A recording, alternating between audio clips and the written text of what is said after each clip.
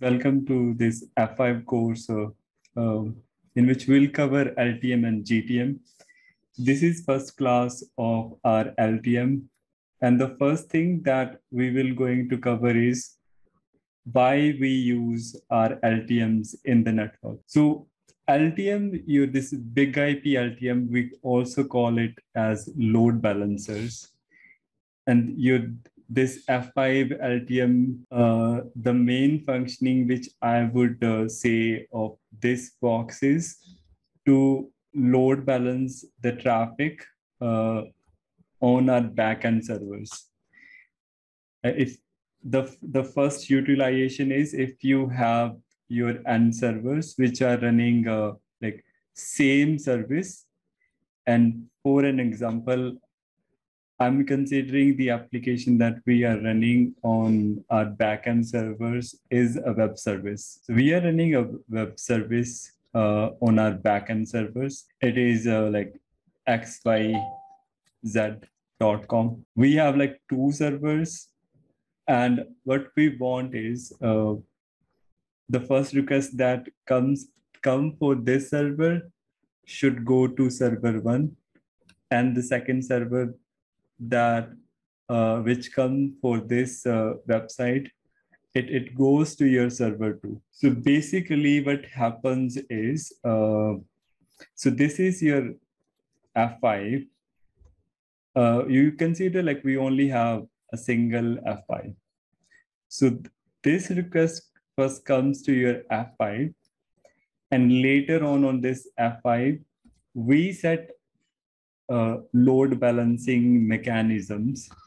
And on basis of those load balancing mechanism, it further send those requests to your uh, internal servers. And if I want like first request goes to your my server one, and second request go uh, when it comes to uh, your F5, it goes to your server two. Okay, this we achieve uh, through a load balancing mechanism that we call as round robin. Now, this is very basic load balancing mechanism that we choose on F5. We have tons of load balancing mechanism.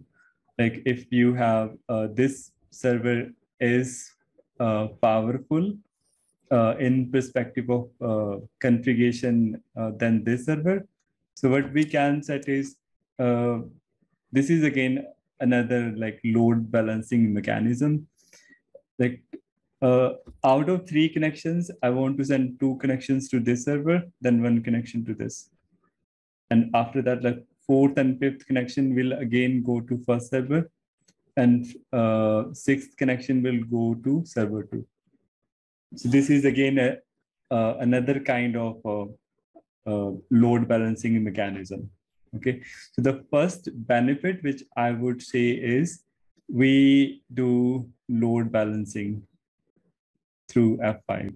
And if you say like we call it as load balancer, so this is the main functioning which you can achieve through this device. Second thing, uh, the main thing I would say this is that we configure health monitors. What do I mean by health monitors? The backend servers on which uh, this F5 device do the load balancing, we configure health monitors on F5 to monitor your these device, these servers. Uh, now we can simply set a ping, ping check on these two servers. Like your F5 will keep on pinging these servers to check if they are uh, physically available or not. And apart from this ping health check, what we can also set is like first, I would say A is ping. Second, what we can do is service check. Now, what is the benefit of this service check? We can do ping on these servers. And what if in a scenario, uh, that this web, web server, uh, there is some problem with the web service. what I mean is your server one is actually available. We can ping it, but we cannot access the service. So this xyz.com, even the request reaches to this server, we are not getting anything in the response. So that is again a problem. And the good thing uh, with the F5 is we can prevent these scenarios. So in case uh, if like we have these two servers and in case this uh, server one, uh, there is some problem with the web service and it, it uh, no longer responding back with the actual response that it should uh, present to us. Uh, this on F5, we can set this service check. So like it, it can um, uh, send, we can configure on F5, like from time to time, send this uh, uh, request to X5, like this server and check what response we are getting. And when we have the problem with the service and this F5 will also not get the actual response it is expecting, then it will mark this server as inactive in its configuration. And later on, it will it will no longer uh, send any other web requests to this server.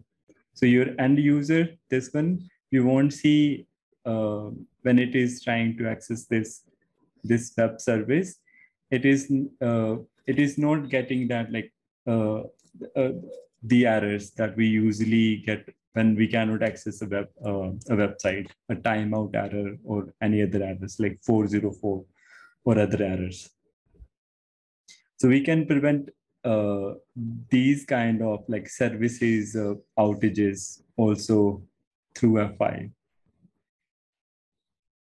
Right, like you have uh, heard like on firewalls, we can we can configure like IPSLA or, or other other stuff for uh, monitoring, uh, but they cannot give you the um, the provision to check the service check. You can from your firewalls or your routers, you can configure the IPSLA on, that only check uh, up to layer three connectivity. But this F5 devices, it has the capability to check actual the layer seven uh, part, the payload, but responses we are actually getting from uh, from these servers. And it's not only uh, like for this web service, you can you can check this layer seven like, like service check, whatever your service is uh, on F5 uh, website, it it gives you the knowledge how you can configure service check for different applications. Okay, third benefit, which I would say uh, is you can redirect your applications uh, flow. Like, what do I mean by that? Uh, redirect is if these servers are running on 443, but earlier they used to run on port 80 and again, it is the same website. And from outside, if this client uh, will try to access HTTP double colon, then this hash uh, xyz.com. And when it reaches to uh, through this switch to F5, on F5, we can set redirection rules uh, through that redirection rules, we can say if uh, we, we receive a request and that is on port 80 for this website, convert it to port uh, 443. And as your backend servers are actually running on port 443, and then this request will ultimately reach to these servers on port 443. Uh, this is what we achieve through iRule and it is very powerful tool in F5. Uh, we'll study about it, like what is iRule and how we actually set on F5 uh, in dedicated classes uh, when we'll study this iRule. But this is also a powerful tool uh, uh, what we use on F5. Uh, so this is some of the basics, basic tasks that you configure on your F5. Now I will allow you guys if you have any question. Like I know we we studied this uh, stuff yesterday also, so all clear up to here, right? Clear, right? Yes. Hmm. Okay.